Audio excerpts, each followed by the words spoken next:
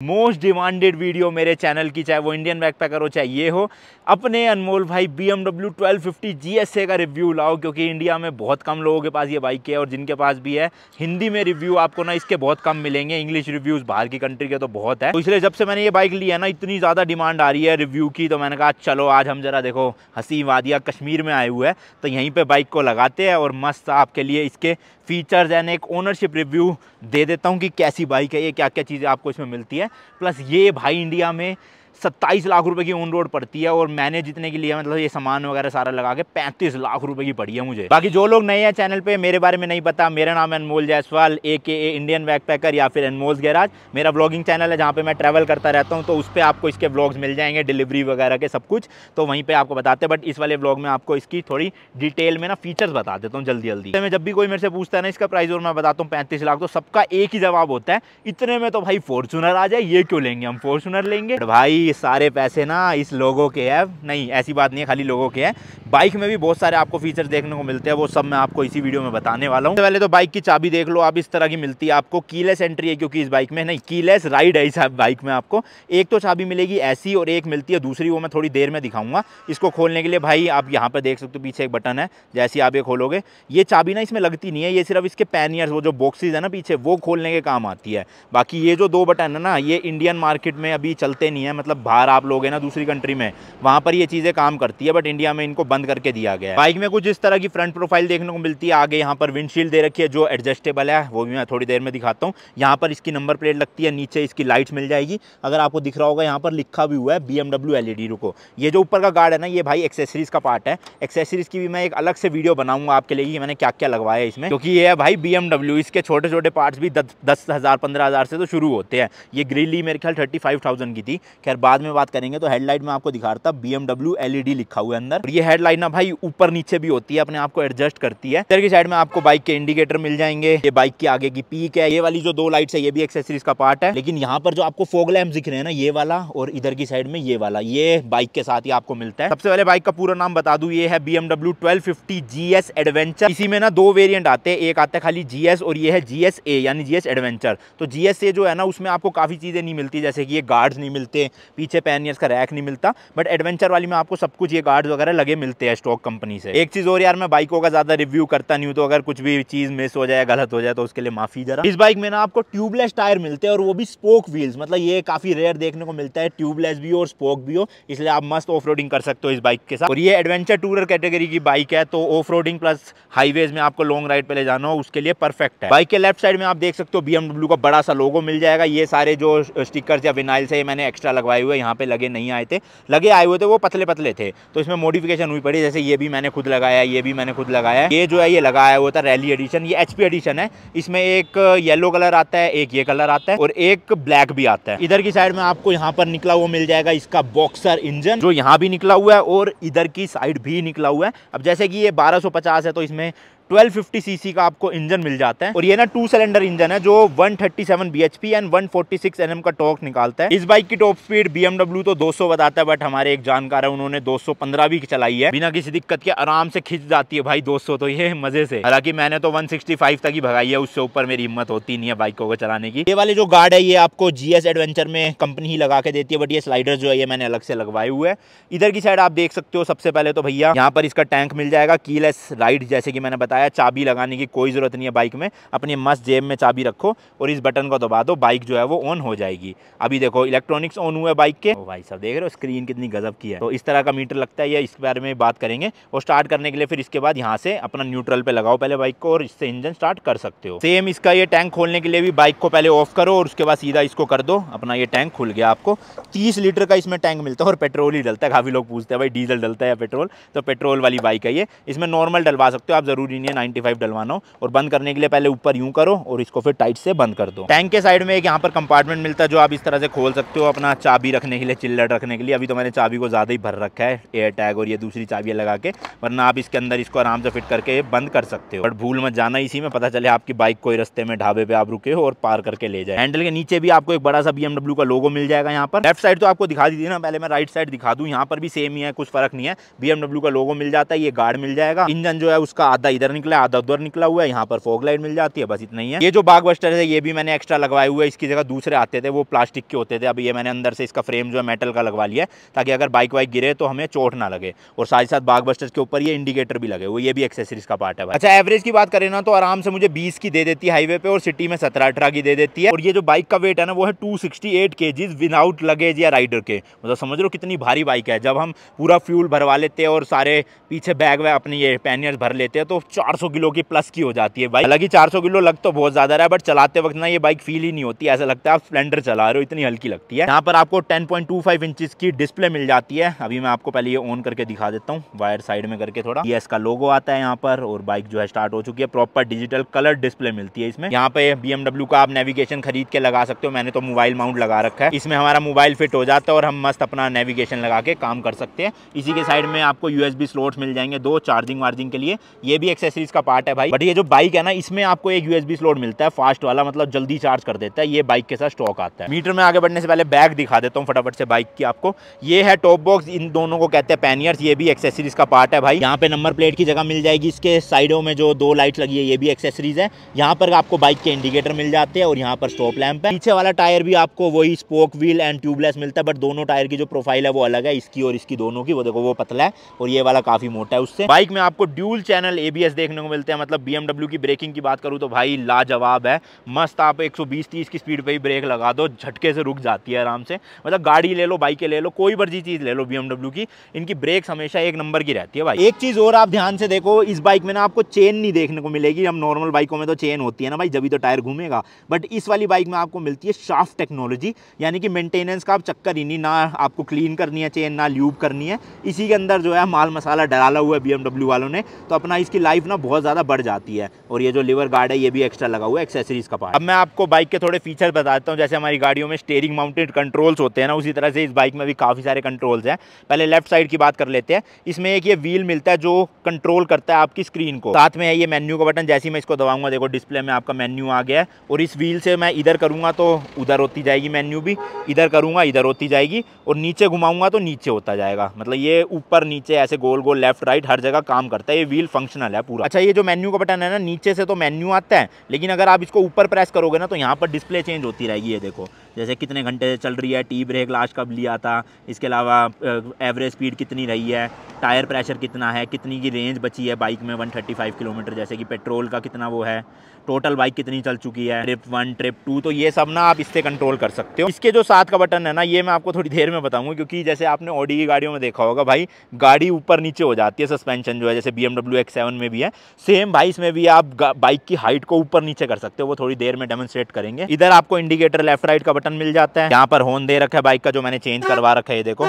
खराब हो गया, अभी फिर फटी फटी आवाज़ आ रही है। यहाँ पर क्रूज कंट्रोल के बटन मिल जाता है तो क्रूज कंट्रोल सेट करने के लिए आपको इधर करना है, और यहाँ पर आपका लॉक हो गया ऑफ़ हो गया मतलब इधर करोगे तो ऑन हो गया, और इससे आप जो है सेट कर सकते हो स्पीड को। एडेप्टिव क्रूज कंट्रोल इसमें नहीं मिलता, जैसे डुकाटी की में मिलता है बट इसमें नहीं है आपका नॉर्मल क्रूज कंट्रोल है, और एक्स्ट्रा नहीं है कुछ भी। यहाँ पर आपको क्लच मिल जाएगा, बाकी ये हज़ार ऑन करने का है, और ये लाइट्स के कंट्रोल है, यहाँ भी और यहाँ भी। इस बाइक में भाई आपको हीटेड ग्रिप्स मिलती है, यानी कि आप किसी ठंडे रीजन में अगर ट्रेवल कर रहे हो तो भैया यहाँ पर आप मस्त हीटेड ग्रिप्स ऑन कर सकते हो, और यहाँ पर भी और यहाँ पर भी आपका ये जो छेद दिख रहे हैं छोटे छोटे इसमें से मस्त हीट निकलती है। वो आप कहाँ से सेट कर सकते हो? यहाँ से देखो राइट साइड में ये वाला बटन देख रहे हो ना? तो यहाँ पर मैं करूँगा, ये वन पे टू पे ऐसे वन पे टू पे तो ये दो मोड है। दो पे बहुत ज़्यादा गर्म हो जाती है वन पे थोड़ी नॉर्मल रहती है। अभी इतनी गर्म हो नहीं रही क्योंकि बाइक ऑन नहीं है, जब इंजन ऑन होता है, तब ज़्यादा बेटर काम करती है तो इसको ऑफ़ कर देते हैं यहाँ से।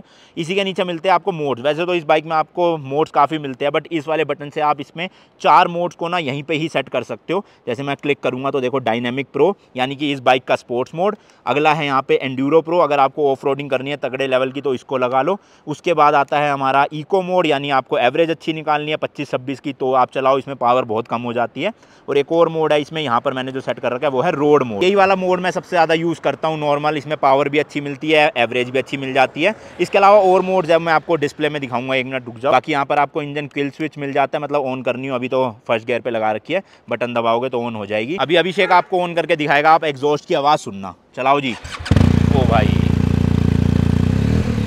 रेस दो थोड़ी।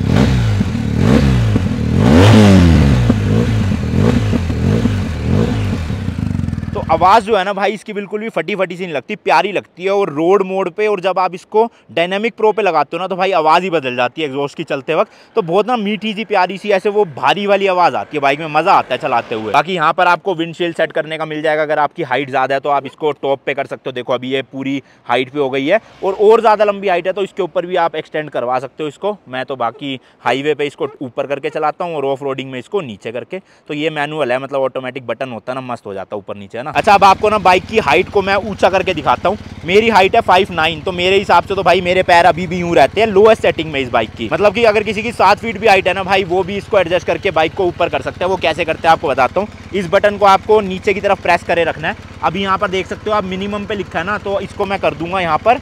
ए ऑटो पे, और एक है यहाँ पर, एक मिनट ये आ गया मैक्स तो अब मैक्स हो गया ना बाइक की जो हाइट है वो बढ़ती जाएगी, ये देखो। यहाँ से जो है सस्पेंशन बाइक के वो उठते आपको नज़र आएँगे। अभी देखो भाई, यूँ जा रही है ना बाइक उधर की तरफ़। तो आपको एक बार अच्छे से दिखाते हैं सेट करके कैमरा ताकि वहाँ से अभिषेक सेट कर देगा। हाइट ऊँची करने के लिए आपको ये वाला जो बटन है ना, इसको नीचे की तरफ़ प्रेस करके रखना है। अभी देखो आप ये मिनिमम उस पर हाइट पे। एक और बार मैं इसको अगर प्रेस करूँगा तो ये आ जाएगी ऑटो पे। ऑटो पे मतलब बाइक ना खुद से भाई जज करेगी गड्ढों पे स्पीड ब्रेकर पे, कि हाइट कितनी रखनी है बाइक की। बट मैं इसको ऑटो पे नहीं रखता, क्योंकि मेरी हाइट छोटी है, इसलिए मिनिमम पे ही। अब मैं इसको करता हूँ भाई हाई पे। तो हाई पे आपको दिखाने के लिए अभिषेक बैठो भाई। चलो। इसको बिठाएँगे हम और ये बाइक सीधी रखेगा, फिर आप देखना बाइक कैसे कैसे उठती है धीरे धीरे। देखो, गाड़ियों जितना तो नोटिस नहीं होता बट ये है जो राइडर होता है ना, उसको पता चल जाता है हाइट बढ़ती है। चलो जी, करो मैक्स पे।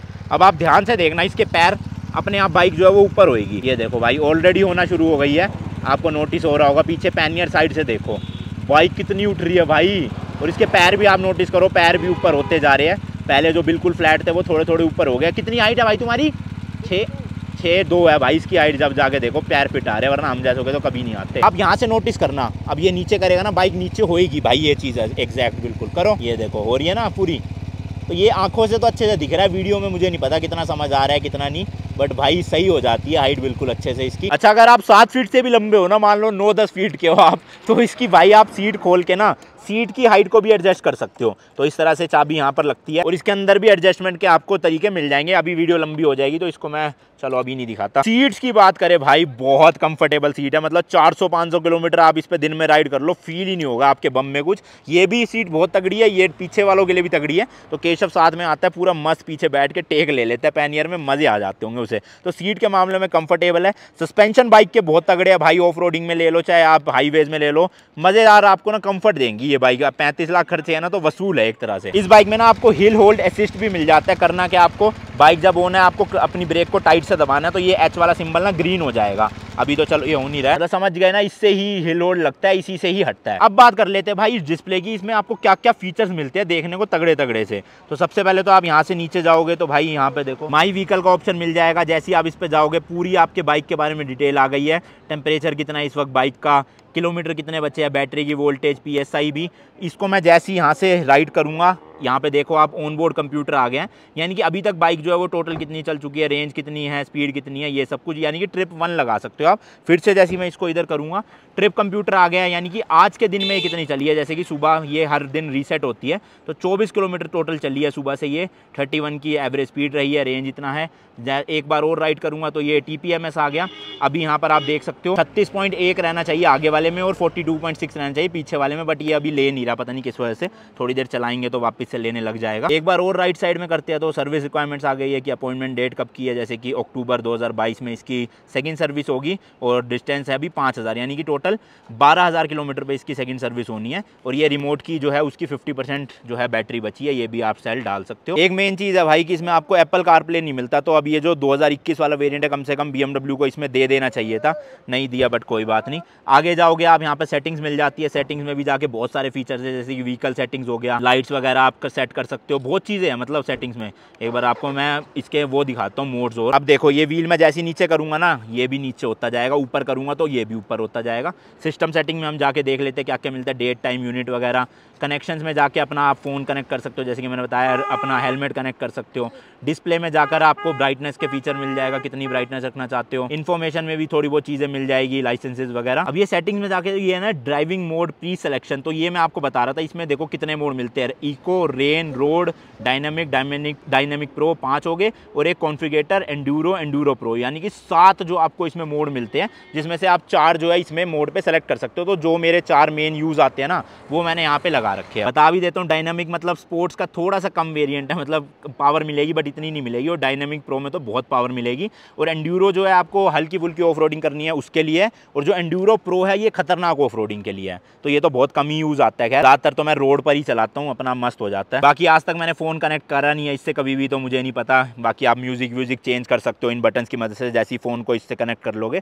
तो इतना ही था यहाँ पे। मेन जो मीटर है वो कुछ इस तरह से लगता है, पूरा डिजिटल है, ये स्पीडोमीटर है, अपना स्पीड बताता है, ये आरपीएम बताता है, यहाँ पे गियर बताता है आपके। इधर टाइम बता रहा है, यहाँ पे वार्निंग लाइट्स और इंडिकेटर की लाइट है, ये कौन से मोड पे है वो बता रहे हैं। ये ऊपर का मैंने आपको बता ही दिया, यहाँ पे लाइट्स वाइट्स का बताता है। यहाँ बताता है आउटसाइड टेम्परेचर यानी इस टाइम पे चौदह डिग्री हो रहा है मई में। जहाँ दिल्ली में चालीस पैंतालीस डिग्री है, यहाँ पे हम चौदह डिग्री में खड़े हैं। एक बार मैं ऑन करके आपको रैप करके दिखा देता हूँ, ये देखो। तो ये पूरा जैसी मैं रेस दे रहा हूँ यहाँ से।